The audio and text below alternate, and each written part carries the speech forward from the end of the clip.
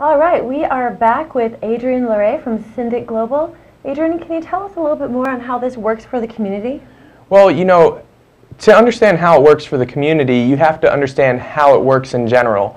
We are a software, we're a platform, we're not a website. We work with websites that already exist. We work with social media platforms that already exist, and we're found on search engines that already exist. We're not trying to change the way that, you, that you're using the web, we're trying to integrate ourselves into the way that you're using the web.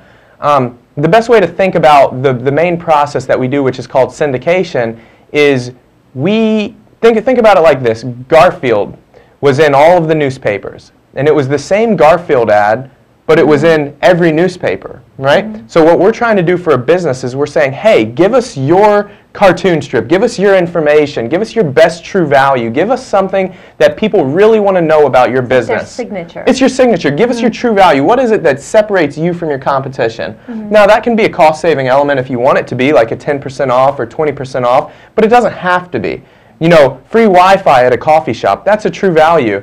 Uh, losing weight faster with a great personal trainer, that's a true value. It doesn't necessarily have to be saving money. And matter of fact, a lot of the daily deal sites out there right now, they force you to give a certain percentage off your product and then they revenue share with the business owners on top of that, which pretty much kills all the business owners' profit and sometimes they even end up losing money. Um, so what we do is we syndicate the information. So when the information is put onto our platform and it goes out to all of the sites, it's your same information on all of the sites that all we work with. Sites, not just one website. It's not just one website. Matter of fact, it's website. It's dozens and dozens of websites in each of the communities that we're working with. Mm -hmm. As you can see up behind us, we're showing a lot of the Nashville ones right now, and it's everything from community sites to real estate sites, to insurance sites, to church sites. And it's so for everybody. You don't exclude anyone. We don't exclude anybody mm -hmm. as long as you're willing to give us your best true value and you're not just going to give us, you know, 5% off and then go give anybody else 20% off. We want the best because we're trying to create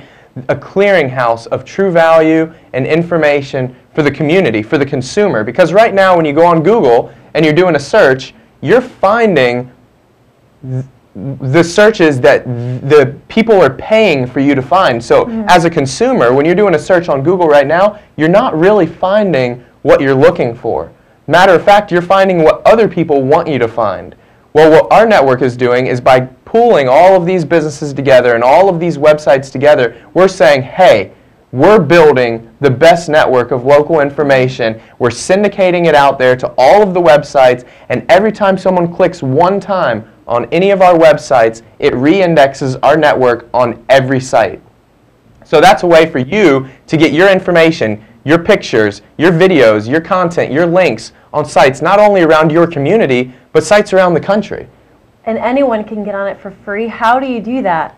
Well, that was the whole that was the whole principle behind what we were doing was we wanted to build our platform so everybody could be a part. Mm -hmm. Because one of the biggest problems right now is yeah, somebody will come in and say, hey, I got something free for you, but it's free for a month, and then they start right, charging like you. trial. Exactly. Ours is we have it's free for everybody and it's free for the life of your business. And then if you find out that you like what we're doing and you'd like to be part of it on a larger level and have more information and more pictures and more videos, then yeah, we have upgrades just like any business would, but you know, that's how we grow. But the fact that every business can be a part of it for free and test the waters to know if it's working for their business, that's what's so powerful. And you know, that doesn't even take us into how we're starting to connect in with social media. So think about this, right?